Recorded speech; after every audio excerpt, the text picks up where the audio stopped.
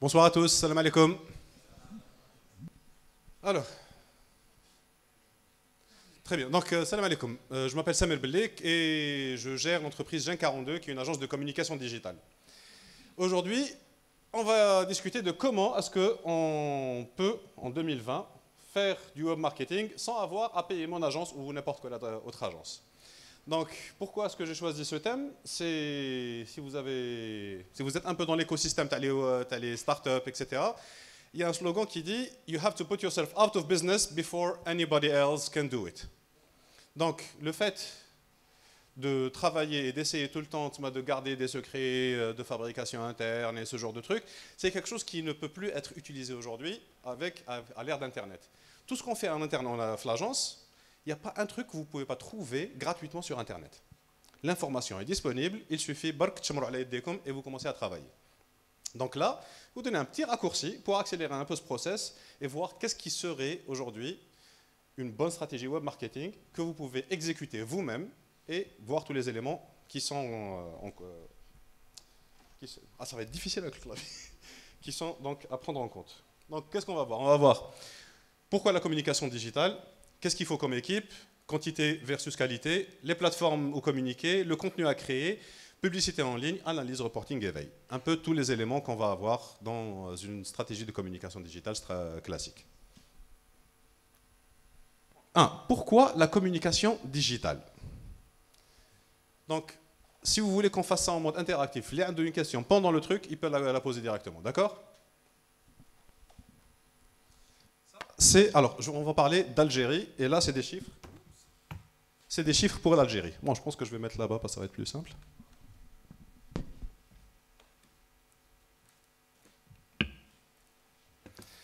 Alors, en bleu foncé, c'est le nombre, c'est la population algérienne, l'évolution depuis 2012.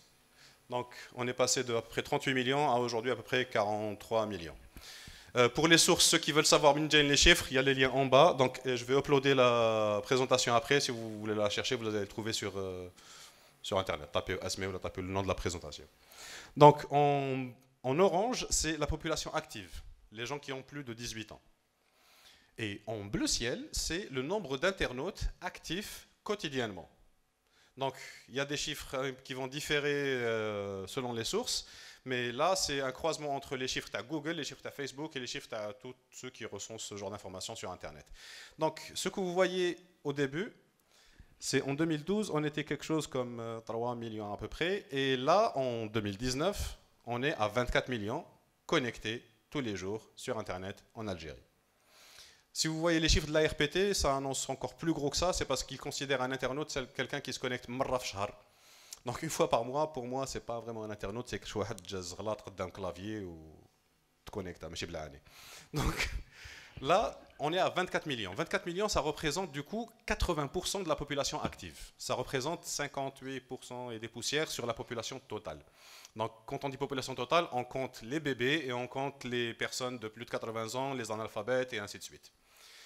Pourquoi on est à 80% aujourd'hui en Algérie sur le taux de pénétration des internautes actifs quotidiens? C'est juste les personnes qui n'ont soit pas la couverture nécessaire sur Internet, mais maintenant, j'ai la 4G couverte à leur niveau, ce qui est assez rare, ou bien c'est les gens qui n'ont pas encore les moyens de se, payer, un smartphone. Et vu le prix qui baisse tout le temps et le prix d'accès à Internet qui baisse tout le temps et des offres à des opérateurs qui offrent des téléphones gratuits, même s'ils sont assez euh, basiques, c'est ça qui a poussé en fait et qui a gonflé ces chiffres très très rapidement en Algérie. It's a battleground of attention. Alors ce slogan, c'est le slogan que je préfère quand on va parler de communication en général ou de marketing. Quel que soit ce que vous voulez vendre, quel que soit ce que vous voulez transmettre comme, euh, information, comme idée, si vous voulez vendre des services ou des produits, ou euh, vous êtes dans la politique, ou vous êtes dans l'associatif, ou vous êtes dans n'importe quoi, si vous voulez avoir des gens qui vont vous suivre, il faut d'abord qu'ils entendent parler de vous et de ce que vous êtes en train de proposer. Et du coup, vous avez besoin de l'attention des gens. Et ce que je suis en train de faire aujourd'hui, j'ai votre attention. Ça fait plaisir. Vous êtes tous en train de m'écouter et j'espère qu'après vous allez tous aller vous documenter sur la chose. Donc, avoir capté l'attention des gens, classiquement, ce qu'on est en train de faire, c'est je peux atteindre grâce à cette conférence toutes ces personnes qui sont là, à vue d'œil entre 80 et 100 personnes. Sur Internet, la magie, c'est que vous pouvez accéder à la même chose en mode exponentiel. C'est-à-dire qu'on on est at scale. C'est-à-dire qu'avec un truc que je vais publier, je peux atteindre des dizaines, des centaines de milliers, des millions de personnes. Plus je vais faire un effort, plus les gens vont entendre parler de moi, plus ça va avoir de l'effet. Ça va faire un effet boule de neige.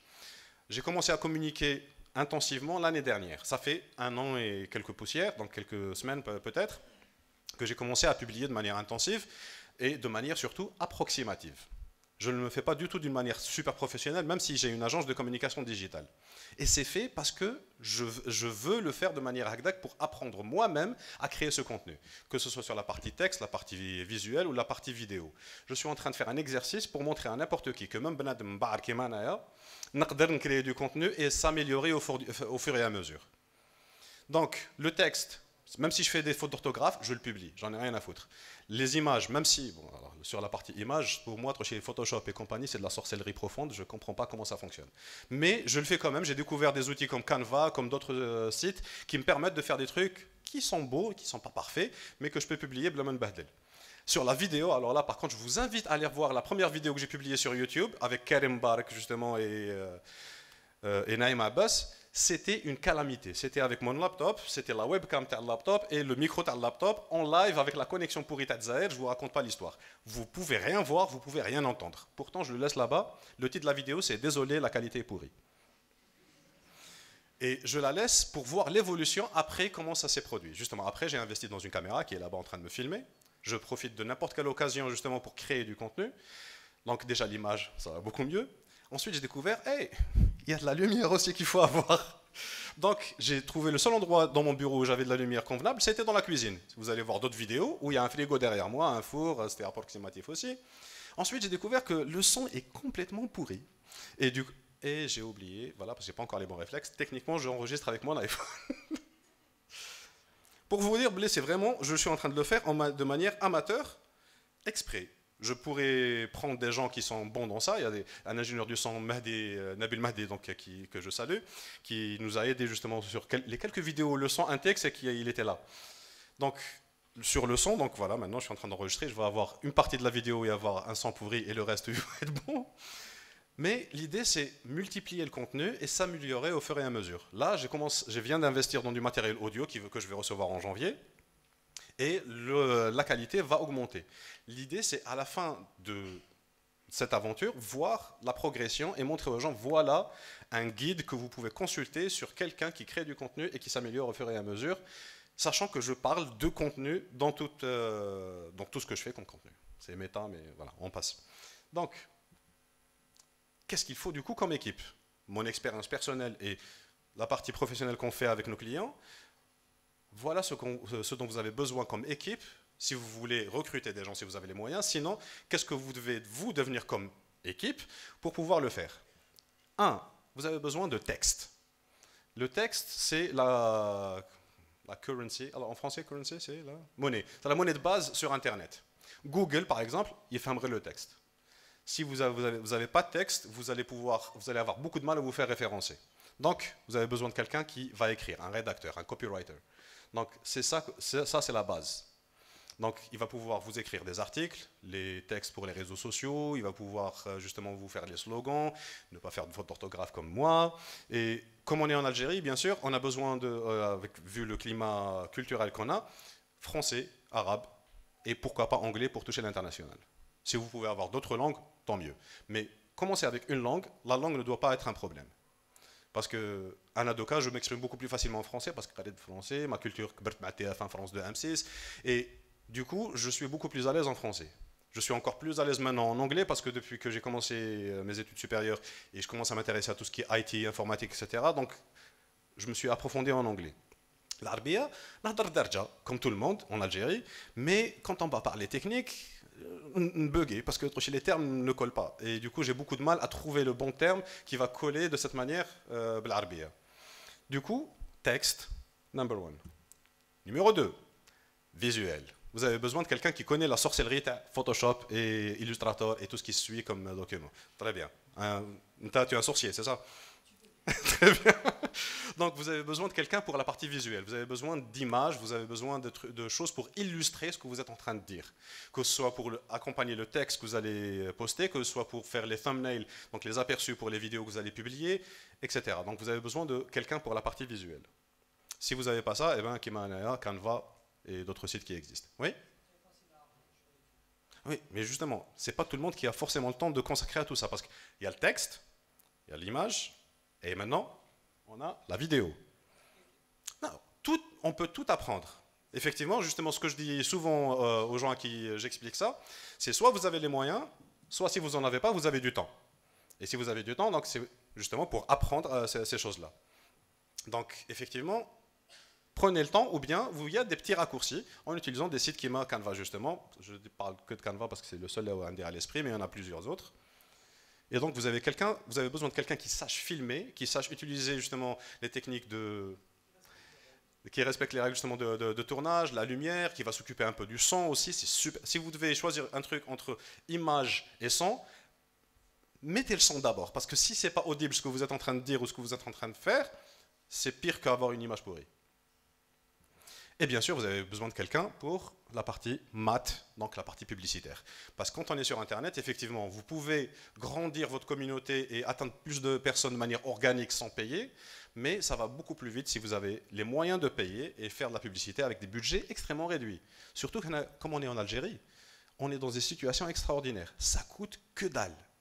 Aujourd'hui, pour toucher 1000 personnes en Algérie, ça coûte quelque chose comme 12 centimes d'euros. On peut le faire encore beaucoup moins cher. Vous savez combien ça coûte pour avoir la même chose aux États-Unis? Quelque chose comme 20 dollars. Réseaux sociaux, Google, quel que soit le, réseau sur lequel vous allez payer, vous, voulez avoir un aperçu, checkez LinkedIn. LinkedIn parce que ce n'est pas ciblé par pays, on est en concurrence avec tout le monde en même temps. 25 dollars CPM, ça fait mal quand on est en Algérie. Donc, oui? Ah non, Faux. Si, si. Non, non, non, monétisation, euh, AdSense. on, en parle après, il n'y a pas de souci. Mais oui, on peut monétiser AdSense, euh, on peut monétiser sur Facebook, euh, comment il s'appelle déjà, le nouveau truc à Facebook, l'équivalent à AdSense Bref, maintenant vous pouvez gagner de l'argent directement à travers ces réseaux. Ça rapporte quasiment que dalle parce que ça coûte que dalle aux annonceurs. Et pourquoi ça coûte que dalle aux annonceurs Parce qu'il n'y a pas assez d'annonceurs, donc il n'y a pas assez de concurrence, c'est un système d'enchères. Donc plus il y aura d'annonceurs, plus ça va coûter cher, plus ça va rapporter aux publishers, justement, qui sont toi qui crée des vidéos ou qui a des, sites ou autre chose. Donc, ensuite, on va parler de quantité par rapport à la qualité. Alors ça, ça énerve systématiquement les agences de créa ou les créatifs en général, qui pour eux, la qualité, il faut que ce soit beau, etc. La qualité, c'est l'ennemi de la productivité. Je dis pas qu'il faut pas faire un truc de qualité. C'est juste qu'à chaque fois, je veux que ce soit parfait, non, mazel, zituya, zituya. Ensuite, qui est en train de juger qu'est-ce qui est qualitatif? C'est vous. C'est une personne, c'est deux personnes, dix personnes. Pour moi, celui qui juge la qualité, c'est celui qui la consomme. Donc quand vous, allez publier ça sur vos réseaux sociaux, sur YouTube, sur n'importe quoi, c'est ceux qui sont en train de consommer ce contenu qui vont dire est-ce que c'est qualité ou pas? Avant-hier, j'étais au cinéma, j'ai vu le dernier Star Wars. Il a coûté quelques milliards de dollars. Et en termes de film, bon, je ne pas spoiler, mais c'est quelque chose qui est considéré comme étant quelque chose de qualité. Par contre, des fois, je vais sur 9gag et il y a des mimes qui ont coûté 3 clics et demi, qui me font tordre de rire, et c'est aussi de la qualité. Donc, la qualité, c'est subjectif. Qu'est-ce qui n'est pas subjectif? C'est la quantité. Quand je vais parler de quantité, moi, je crois que vous faites un truc industriel. C'est juste qu'il faut multiplier le nombre de contenus que vous êtes en train de faire pour adresser les différentes personnes qui sont qui n'ont pas les mêmes goûts. Chacun d'entre vous a des goûts différents les uns des autres. Il y a des subtilités des fois et des trucs radicalement différents. انا نشوف contenu مكتوب بالعربيه راسي يوجعني باسكو لازم déchiffrer. J'ai perdu l'habitude de lire l'arabe. Mais quelqu'un d'autre qui chauffe la même chose en anglais ou en français, vous avez des, certains codes, justement, les couleurs, certains codes, le régionalisme, etc., qui font que on ne va pas tous consommer le contenu de la même manière et apprécier les mêmes choses. Donc il faut multiplier les variations pour pouvoir justement atteindre un maximum de personnes de manière efficace. Alors, c'est ce que je viens de dire. J'ai oublié de faire passer le slide. Donc, pourquoi est-ce que, comment il faut comprendre, pour comprendre ça, il faut comprendre comment ça fonctionne sur Internet. Chacun d'entre nous, nous dans cette salle, le fil d'actualité, les sur Facebook, les résultats de recherche, les sur Google, le fil les sur YouTube, et quel que soit le réseau, est complètement différent des autres fils. Parce que tous ces, tous ces résultats, que ce soit des résultats de recherche à Google ou là, le fil d'actualité qu'on a sur les réseaux sociaux, s'adaptent grâce aux algorithmes de Hadoma par rapport à nos centres d'intérêt. Et du coup, un air, foot violemment. Jamais je vois un truc de foot, à part si un ami très proche a partagé quelque chose. C'est ça, on me suggère jamais du foot et je ne consomme pas ce truc. Par contre, mon fil, c'est que de la tech et du réseau social, etc. Parce que c'est mon domaine et du coup, je vois que ça et je consomme que ça. Donc, nos fils sont complètement différents. Et du coup, vous, si vous voulez atteindre plein de gens, vous devez faire autant de choses différentes. Donc, c'est comme des pipes. un, un pipe de content qui arrive vers lui. Il faudrait que vous atteigniez un maximum de pipes. Et comment atteindre un maximum de pipes? C'est en créant un maximum de contenu. C'est pas plus compliqué. Et l'avantage avec ça, c'est que plus vous allez créer du contenu, plus vous allez comprendre avec le retour que vous allez avoir des internautes, plus vous allez améliorer votre contenu et atteindre la qualité euh, objective. C'est ça l'idée. Donc, maintenant, on va parler de chiffres. Qu'est-ce que c'est que de la quantité? Aujourd'hui, un strict minimum, si vous voulez faire grandir votre présence sur le web, c'est quelque chose entre 50 et 100 contenus différents jour. Rythme industriel. En fait, ça c'est la barre d'entrée pour pouvoir, en anglais, to be relevant in this day and age. Aujourd'hui, c'est ça qu'il faut pouvoir créer tous les jours pour pouvoir être considéré comme quelqu'un qui fait de la pub sur la télé il y a 20 ans. Ah, il y a 20 ans, quand, quand on fait une campagne de pub sur la télé, il fallait faire une campagne sur au moins un mois avec au moins 3 à 4 passages par jour. Sinon, ça passe inaperçu. Aujourd'hui, il faut faire ça sur Internet pour pouvoir être relevant par jour. Et justement, ça, alors, bah, si, tu peux faire 50 vidéos, fais 50 vidéos. Mais un tweet, c'est un contenu. Voilà. C'est du texte. Une publication, quel que soit le type. Alors justement, pour, je n'ai pas envie de m'approfondir dans ça parce que ça va être une heure de plus de conversation. Mais ça, je vous invite à trouver. Alors, euh, qui ici connaît Gary Vee. Et ça alors, Gary Vee a publié justement, cherchez Gary Vee, G-A-R-Y, espace V-E-E. -E. Il s'appelle Gary Vaynerchuk. Le gars a publié un slide de 120 ou 300 pages, je ne me rappelle plus, où il parle justement de comment créer au moins 65 pieces of content in a day. Et c'est d'une simplicité extraordinaire. C'est choquant à quel point c'est simple. Sur n'importe quel être humain, même comme vidéo, comme graphisme, comme je pouvais le faire. Donc checker ça, ça va répondre à cette question de comment faire autant par jour. Donc sinon, comme sinon on va perdre une heure. Bien sûr, oui. Très bien. Alors je reviens au slide d'avant. Pour atteindre un maximum de personnes sur un maximum de pipes. Parce que tout le monde n'est pas sur Facebook. Ah oui, oui, et c'est pas assez en fait c'est normal que vous, vous considérez que c'est énorme parce que vous, êtes encore dans le modèle avec lequel on a grandi. Basiquement, on voyait la télé, on voyait la radio, les journaux, etc. C'est une pub qui va traîner pendant deux mois. Basiquement, c'est ça l'idée. Les grandes campagnes de pub, c'est quelque chose qui, qui allé sur un à deux mois et on avait quatre à cinq trucs différents grand max. Mais pourquoi? Parce qu'en fait, ça, c'était dû à comment est-ce que la distribution du, du contenu était faite. C'est-à-dire, il avait le monopole de maximum 10 chaînes, maximum 3 euh, radios, etc. Et la production d'une vidéo coûtait une blinde. Et du coup, il fallait pas se rater sur cette vidéo. Et du coup, vous devez faire un truc qui soit le plus standard possible pour toucher un maximum de gens de manière euh, gouvernée. Alors que là, on est sur Internet. Ça coûte pas si cher de créer du contenu. Ça coûte quelques clics de votre temps. Oui? Message de notre sponsor, Algérie 2.0. Donc, pour revenir euh, à ce qu'on disait, voilà à quoi ça sert de multiplier le contenu. Voilà pourquoi c'est faisable et voilà pourquoi c'est différent. On n'est plus, tous monopolisés par une chaîne de télé qui, monopolise le tout. On est plus tous en train d'écouter une seule radio. On est tous en train de faire notre petite niche et créer notre petit pipe sur Internet. Et pour pouvoir les atteindre gaétique, il faut faire énormément de contenu. Et là, je parle à des individus. Si je parlais à une marque, ce serait genre 1000 et plus.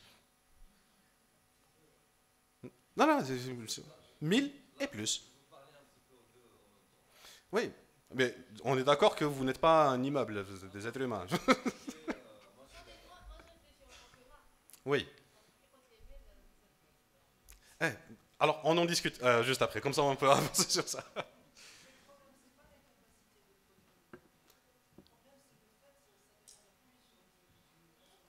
Euh, parce que vous imaginez que chaque consommateur va voir tous ces contenus. C'est faux. Regardez comment vous vous comportez sur Internet. Quand vous êtes sur votre fil d'actualité, que ce soit sur Facebook, sur Instagram, sur Twitter ou n'importe quoi, vous êtes en train de scroller, quand il y a un truc qui vous intéresse, vous vous arrêtez. Likez, commentez, partagez, etc. Sachant que le pourcentage de contenu de la même marque que vous allez voir est extrêmement faible. Donc, dites-vous que le contenu qui... Parce il faut comprendre aussi comment fonctionnent les algorithmes de ces réseaux. Sur ton fil d'actualité, tu ne vois que les choses que, que, Facebook, par exemple, on va parler de Facebook, que Facebook a détecté que tu avais déjà eu des interactions avec précédemment. Donc, moi, quand je vais faire 100, euh, je vais switcher en anglais vite fait. When I do 100 pieces of content to, try, uh, to, to communicate in, uh, to my community, you will engage only with the content that you engaged with pre uh, precedently. Quand je vais parler de foot et tu t'en fous du foot, tu vas même pas voir ce truc. Quand je vais m'adresser à des personnes de 50 ans et plus, tu vas même pas voir ce truc. Justement, non. L'algorithme fait en sorte que ça va t'atteindre. Sachant qu'à chaque fois que tu publies, chose que quasiment personne ne fait, on peut systématiquement, quand on publie, cibler. On peut décider qui peut voir cette publication. Donc, n'imaginez pas que vous allez voir systématiquement tout ce qui va être publié. Ça, c'est impossible. Ça ne fonctionne pas comme ça. Et le comportement de quelqu'un qui va sur la page pour aller voir tout ce que je suis en train de publier, ça c'est soit quelqu'un, ça c'est un professionnel qui est en train de checker ce que je suis en train de faire, soit c'est quelqu'un, ça c'est mon boss, basiquement. Les êtres humains normaux ils font pas ça. Même les fans ils font pas ça, faut pas déconner. Euh, regardez sur la page, regardez vos statistiques, combien de personnes vont de lui-même, bonjour, je vais voir la page. il a un problème psychologique. Cette personne qui fait ça a un problème psychologique.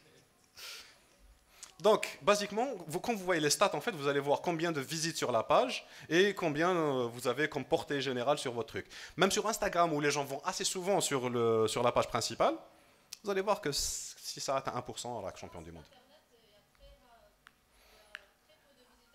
Après ce qu'on appelle le pli, donc the fold sur la page, on perd 50% des internautes. Plus on descend, plus c'est faible. Basiquement, voilà, les gens ne se cassent pas la tête. Don't make me think. C'est ça le slogan sur Internet. Donc, on envoie du contenu et plus on fait de contenu, plus on pourra atteindre de personnes. C'est un peu contre-intuitif par rapport à tout ce qu'on a appris pendant notre vie sur tout ce qui est communication classique, mais c'est comme ça que fonctionne Internet. Donc, je passe au suivant. Voilà les réseaux sur lesquels, actuellement, vous devriez communiquer. Donc, Facebook, Instagram, Twitter, Snapchat, LinkedIn, TikTok, YouTube. Si on a un autre qui apparaît demain, rajoutez-le à la liste. TikTok. Je comprends TikTok. Ah, c'est vous? Est-ce que Facebook était sérieux il y a 5 ans? Est-ce qu'Instagram était sérieux il y a 5 ans? C'est ça en fait, les réseaux évoluent. Il y a 10 ans, Facebook c'était un réseau pour étudiants aux États-Unis. Il y a 5 ans, Instagram c'était un réseau pour les photographes et ceux, et, ceux qui, qui sont pervers narcissiques. Aujourd'hui, tout le monde est pervers narcissique. Aujourd'hui, TikTok, effectivement, la tranche d'âge, quand ça a commencé, c'était les 9-14 ans. Aujourd'hui, c'est un peu plus les 14-25 ans. Et ça évolue au fur et à mesure. Ça évolue à une vitesse effrayante. TikTok est l'un des réseaux qui grandit le plus vite au monde. Aujourd'hui, si vous balancez une vidéo la plus débile du monde sur TikTok, quand je dis la plus débile du monde, pas à la TikTok. Genre, moi, je prends la vidéo, c'est Hey TikTok Point. C'est ça la vidéo. Cette vidéo va avoir, même si j'ai zéro follower, une centaine de vues sans aucun effort. Ça, c'est de l'audience gratuite, organique. Si vous commencez aujourd'hui à, faire votre communication sur TikTok, vous allez atteindre cette population de 14-25 ans, qui, comme tout le monde, va grandir dans quelques années.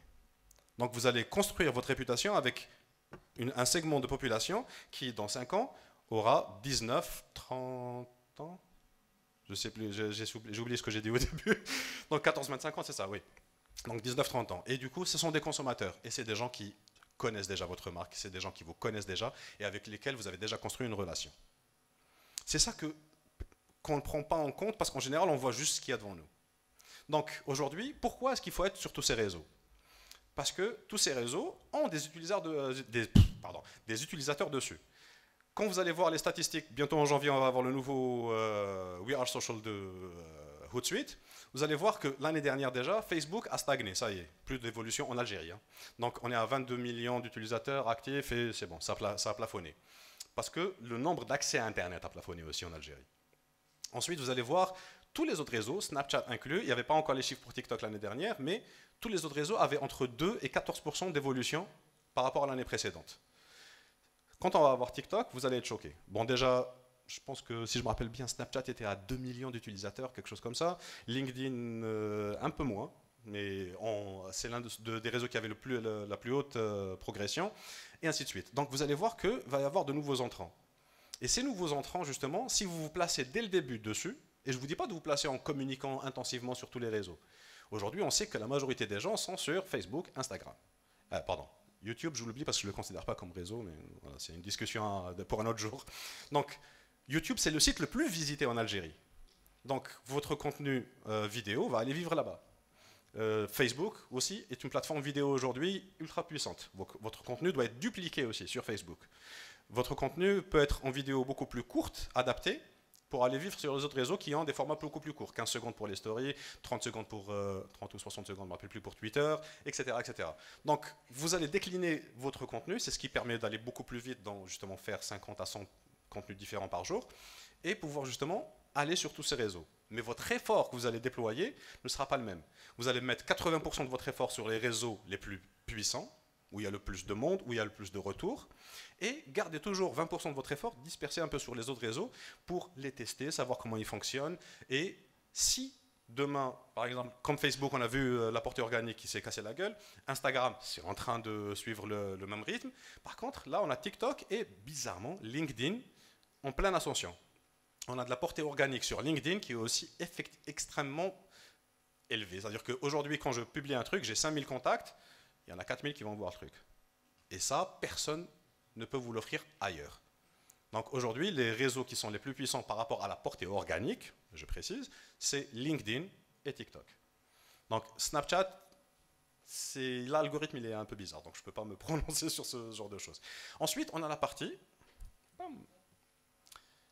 on n'a pas que des réseaux sociaux. Donc si vous avez un site web, un blog, euh, des plateformes euh, tierces, donc, comme euh, donc là vous avez Quora, Medium, WordPress et les plateformes de podcast avec une consommation extraordinairement élevée, même en Algérie. Alors, je vous donne une idée. Malheureusement, il n'y a pas de chiffre officiel pour les podcasts, même à l'international pour l'instant. Par contre, moi j'ai fait un test, j'ai pris le son de mes vidéos, comme j'avais précisé tout, à l'heure, qui sont complètement pourris, et je les ai directement uploadés sur une application qui s'appelle Anchor. Donc c'est l'application qui est en deux en bas, le deuxième violet. C'est une application qui a été rachetée par euh, Spotify.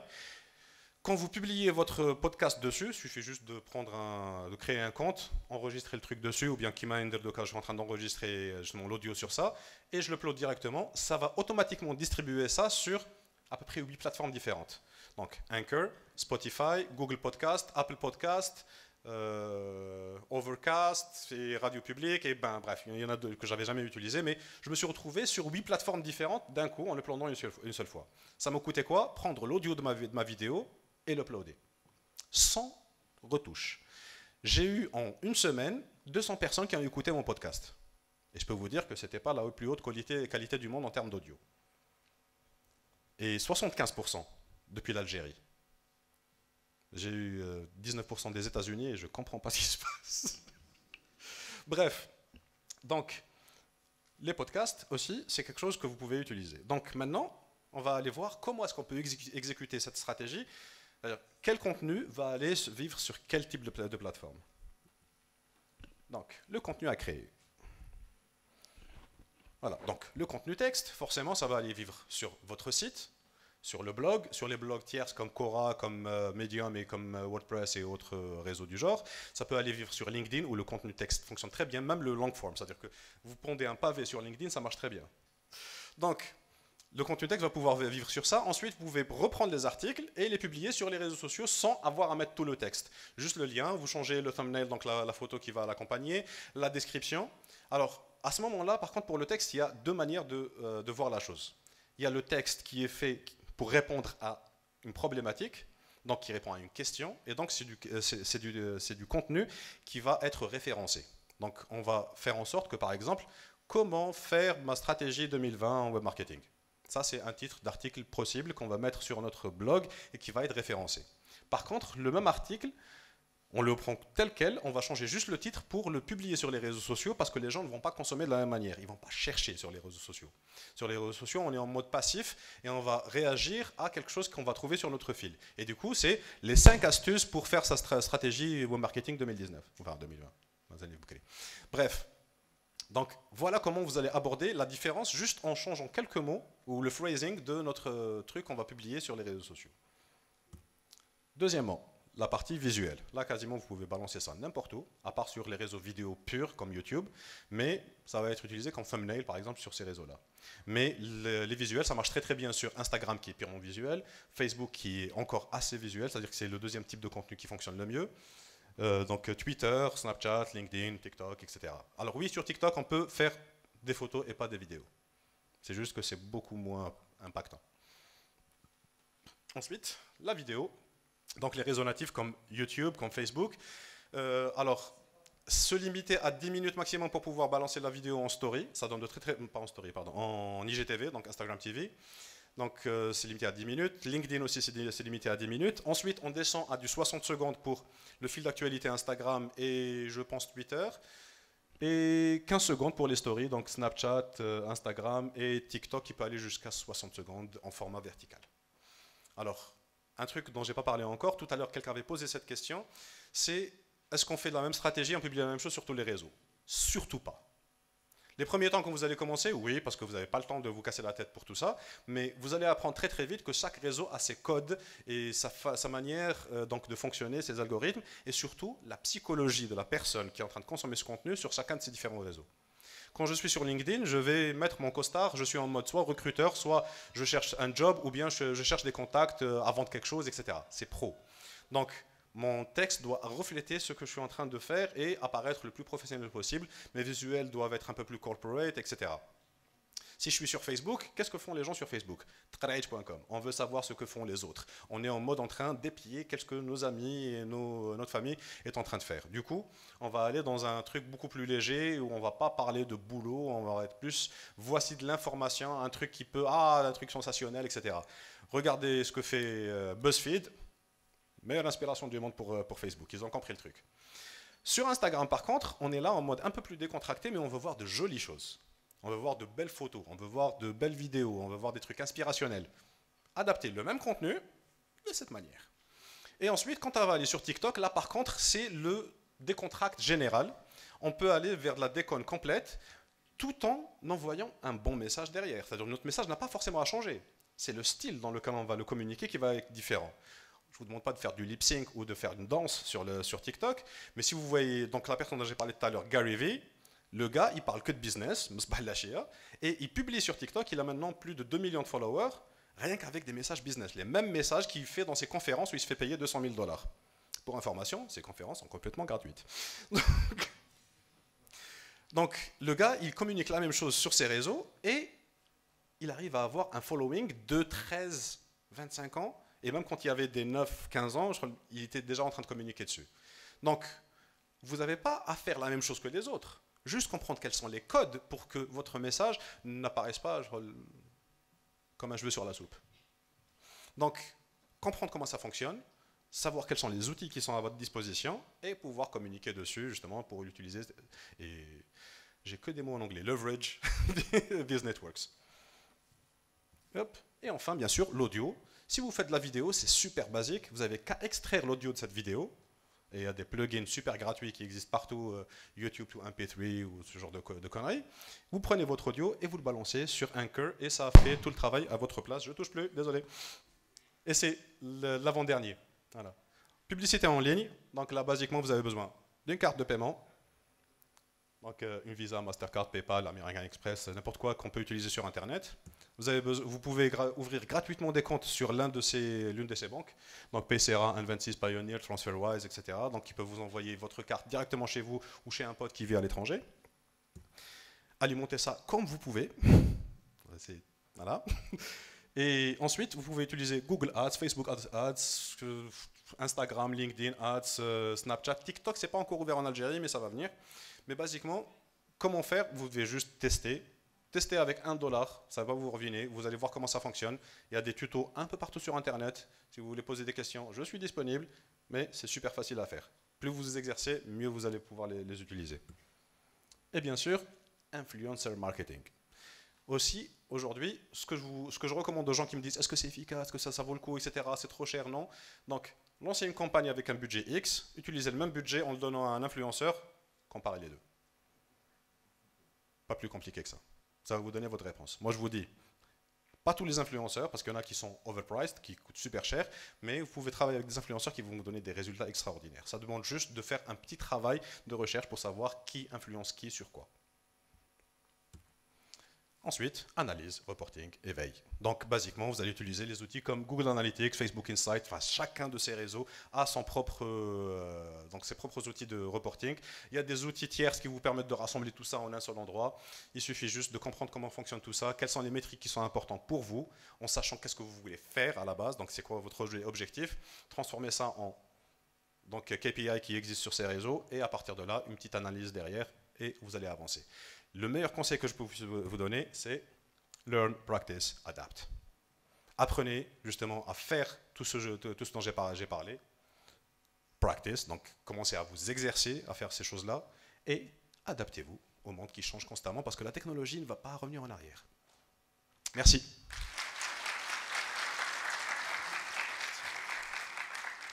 Si vous voulez me suivre, c'est mon nom, Samer Belik, avec digital à la fin euh, sur n'importe quel réseau. Vous pouvez m'envoyer des messages quand vous voulez, je suis assez responsif. Par contre, si vous m'envoyez 200 messages d'un coup, désolé si je vais prendre du retard à pouvoir vous répondre. Est-ce que vous avez des questions? En fait, ce n'est pas une question, mais je voulais juste savoir votre avis sur le réseau social euh, Pinterest. Vous ne l'avez pas cité euh, Oui, je ne l'ai pas cité, c'est voulu, parce qu'en fait, c'est un réseau qui a beaucoup stagné. Il est super efficace pour certains certaines, non, non, pas les produits professionnels, c'est pour certaines marques de niche ou sur certains aspects, il peut être super efficace. Par contre, c'est un des réseaux qui ne grimpe pas. Il n'est pas en train d'évoluer, il est assez stagnant depuis quelques années, c'est tout. Mais effectivement, si vous avez, si vous avez donc euh, un métier ou une profession ou un secteur qui est super visuel, yes. Si vous avez un secteur qui s'adresse majoritairement aux femmes, yes. C'est pas uniquement, mais majoritairement. Voilà, c'est un réseau à prendre en compte. C'est juste que ceux-là, ils bougent beaucoup plus vite. C'est tout. De rien. Euh, Pinterest. Ouais. Donc, c'était l'avant-dernier slide. Learn, practice, adapt. C'est-à-dire qu'il n'y a, a rien que je puisse vous dire qui n'existe pas sur Internet. Tout ce que je vous ai dit aujourd'hui, je me suis lancé, je savais à peine faire des campagnes publicitaires. Et à chaque fois qu'on me disait, t'as de ça Oui. Je rentre, Google, tac, tac, tac, c'est bon, ok. Lendemain, c'est oui, je peux. voilà, c'était pas plus compliqué que ça. Donc, mais voilà, faut pas aussi aller très très loin. mais basiquement, c'est ça. On apprend très facilement en s'exerçant. Et c'est en m'exerçant que j'ai appris tout ce que je sais aujourd'hui. C'est ce que je recommande à tout le monde. C'est très très facile d'apprendre justement avec l'expérience. Merci.